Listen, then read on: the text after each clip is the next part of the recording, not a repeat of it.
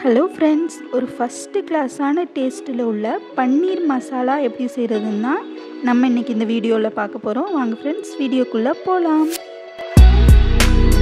இப்போ ஒரு கடாய் வச்சுட்டு ஹீட் ஆகும் நம்ம கொஞ்சம் வெண்ணெய் இல்லாட்டி வெண்ணெய் இல்லைன்னா எண்ணெய் போட்டுக்கலாம். வெண்ணெய் நல்லா மெல்ட் ஆகவும் ஜீரகம் சோம்பு ஒரு நாலு முந்திரி பருப்பு வெங்காயம் தக்காளி இஞ்சி பூண்டு எல்லாம் போட்டு வதக்கி நம்ம பேஸ்ட்டாக அரைச்சிக்கலாம்.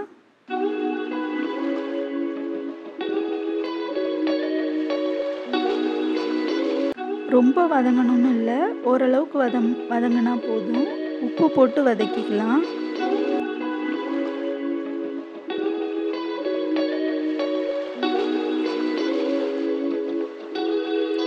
நல்லா ஆறவும் மிக்சியில் போட்டு அதை நம்ம பேஸ்ட்டாக அரைச்சி எடுத்துக்கலாம்.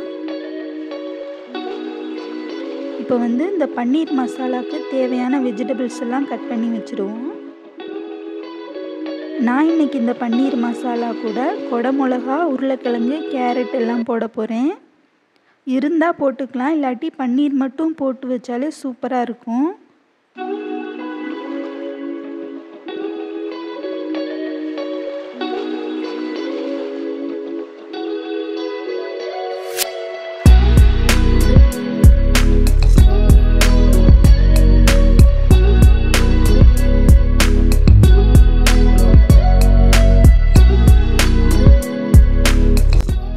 கடாயில் கொஞ்சமாக ஆயில் விட்டுட்டு ஒரு ரெண்டு பச்சை மிளகா ஒரு பெரிய வெங்காயம்.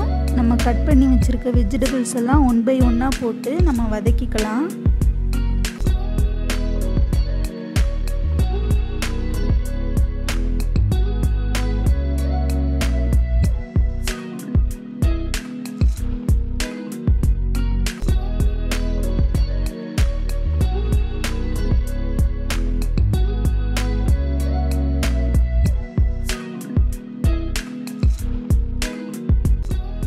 இது வந்து இந்துப்பு. என்ன பிங்க் கலரில் இருக்கேன்னு நினைக்காதீங்க. இந்துப்பு நான் போட்டு வதக்குறேன். நல்லா வதங்கவும் நம்ம அரைச்சி வச்சுருக்கோம்ல மசாலா அதையும் போட்டு நல்லா எண்ணெய் பிரியிற வரைக்கும் நல்லா வதக்கிக்கலாம்.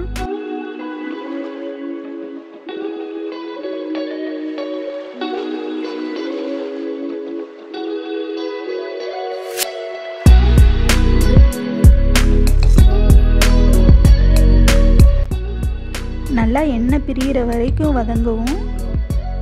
கொஞ்சம் மஞ்சள் தூள் கொஞ்சம் வீட்டில் அரைச்சி வச்சுருக்கோம்ல மல்லித்தூள் அது கொஞ்சம் போட்டுக்கலாம். கொஞ்சம் மிளகாத்தூள் கொஞ்சம் கரம் மசாலா போட்டுக்கலாம். போட்டு நல்லா பச்சை வாசம் போகிற வரைக்கும் நல்லா வதக்கிக்கலாம்.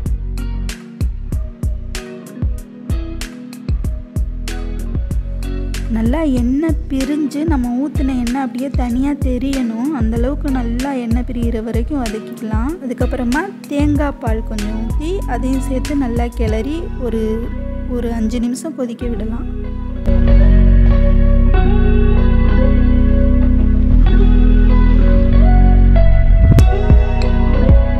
தேங்காய் பால் ஊற்றி கொதிக்கவும் கொஞ்சம் மல்லித்தலை போட்டுட்டு நம்ம கட் பண்ணி வச்சுருக்க பன்னீரையும் அது கூட போட்டு ஒரு ரெண்டு நிமிஷம் கிளறிட்டு நம்ம இறக்கிடலாம்.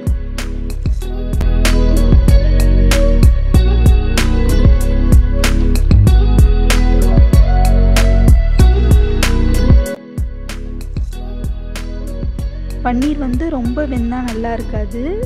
பன்னீர் போட்டுட்டு ஒரு ரெண்டு நிமிஷம் கொதிச்சா போதும். அதோட ஸ்டவ் ஆஃப் பண்ணிடலாம். ஃபஸ்ட் கிளாஸான டேஸ்ட்டில் உள்ள பன்னீர் மசாலா ரெடி ஆயிடுச்சு. நீங்களும் இது மாதிரி வீட்டில் ட்ரை பண்ணி பார்த்துட்டு எப்படி இருந்துச்சுன்னு கமெண்ட்ஸில் சொல்லுங்கள் ஃப்ரெண்ட்ஸ் இந்த வீடியோ பிடிச்சிருந்துச்சுன்னா லைக் ஷேர் கமெண்ட்ஸ் அப்புறம் சப்ஸ்கிரைப் பண்ணி விட்ருங்க ஃப்ரெண்ட்ஸ் இன்னொரு சூப்பரான வீடியோவில் சந்திப்போம். பாய்